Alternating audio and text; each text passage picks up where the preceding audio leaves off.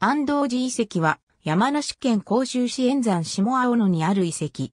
縄文時代中期の五稜が大式期から外市式期を中心とする集落遺跡。出土品は2015年9月14日付で山梨県の指定有形文化財に指定されている。安道寺遺跡甲府盆地東部、笛吹川支流の重川左岸の標高約500メートルの中石台一条に位置する。県内では山梨県笛吹市の一の沢遺跡や山梨県甲府市の上の平遺跡と並ぶ縄文中期前半型の集落遺跡と位置づけられている。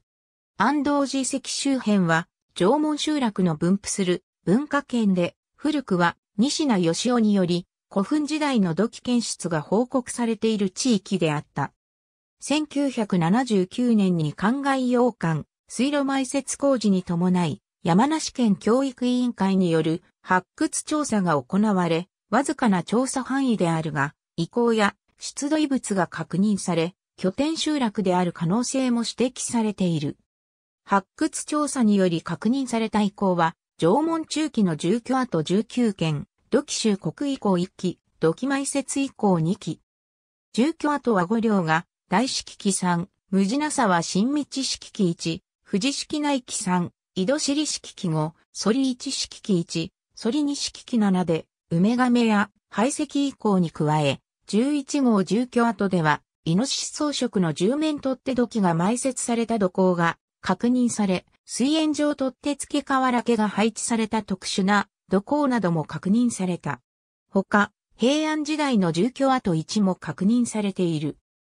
出土遺物は、土工から出土した？水煙状取って付け瓦家に加え、17号、住居跡で出土した、ソリー一式機の深鉢型土器や、8号住居跡で出土した、邪体文様のある、有効つば付け土器などの縄文土器のほか、土偶18や、大慶土器、石族、打製石符、大石、すり石などの生活遺物も出土している。17号住居市内から出土した。大型装飾土器は破片を土坑内に丁寧に埋納された状態で出土した。この土器は、反り一式の深鉢型瓦家で、高さ37センチメートル。4つの装飾取っ手を有する。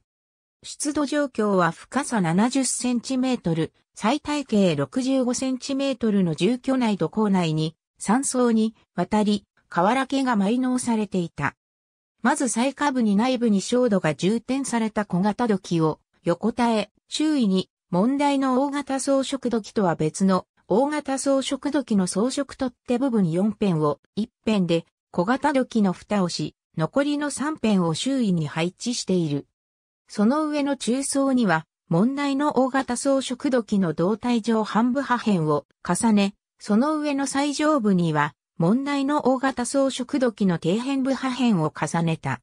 こうした湿度状況から大型装飾土器を意図的に破壊して埋納する何かしかの儀礼が行われていたと考えられている。